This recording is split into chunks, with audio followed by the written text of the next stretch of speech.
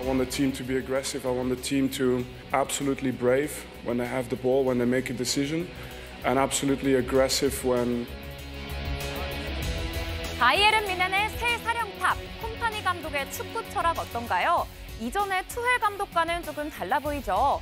뒤로 물러서는 수비보단 앞으로 나아가며 공격적인 수비를 펼치는 김민재 선수. 콤파니 감독의 철학과 김민재의 축구 스타일 왠지 좀 겹치는 것 같죠?